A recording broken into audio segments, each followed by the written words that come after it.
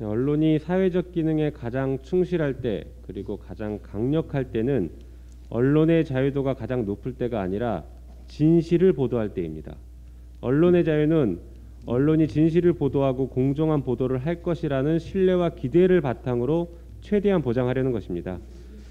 여야 8인 협의 체에서 가짜뉴스 피해구제법 논의가 진전을 이루고 있습니다. 네 차례 회의를 마쳤고 어, 금주 목요일에 언론소송 전문가, 피해자, 기자 등의 관계자 진술을 청취하는 시간을 갖기로 했습니다. 나아가 이를 통해 금요일까지 양측의 수정안을 제시하고 대안을 논의하기로 했습니다. 민주당은 반드시 가짜 뉴스의 피해를 실효적으로 구제할 수 있는 법을 만들겠습니다.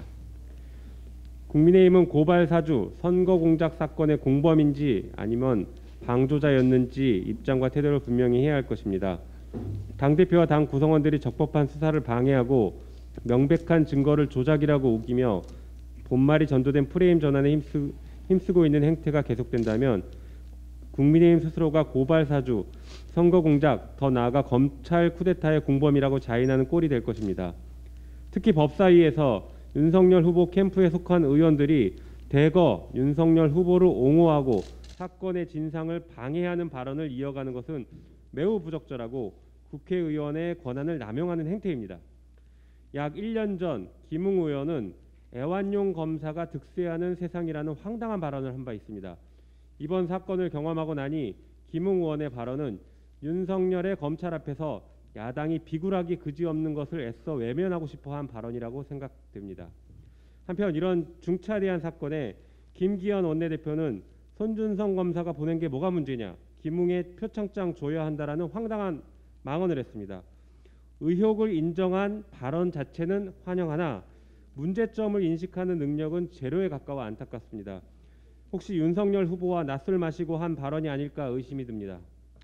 검찰의 고발 사주, 선거 공작을 넘어 이제는 윤석열의 검찰 사유화, 국가 권력의 사유화가 증거를 통해 밝혀지고 있습니다. 법무부와 검찰은 과거 검찰이 부실 수사를 넘어 윤석열 일가에 대한 변호를 자처하고 수사를 방해하며 검찰권을 남용했는지 더 나아가 검찰총장 시절부터 대선을 준비하기 위해 권한을 남용하고 특활비를 함부로 썼는지 등을 확인해야 할 의무가 있습니다. 검찰총장이 국민과 국가로부터 부여된 검찰권을 자신의 정치적 목적과 가정의 가족의 부정을 덮는 데 사용했다면 선거를 통한 국민의 심판보다 먼저 법의 심판을 받아야 할 것입니다. 근본적으로 이 같은 일을 가능하게 한 현, 현 검찰 제도를 개혁해야 합니다. 수사 기소권의 막강한 권력을 행사함에도 국회와 외부 기관의 견제는 고사하고 검찰 내부 일에 관해서는 확인조차 제대로 하기 어려운 것이 현실입니다. 이번 사건에도 공익 제보가 없었다면 밝혀지지 않았을 것입니다. 사람의 문제보다 구조의 문제가 먼저이고 더 심각한 상황입니다.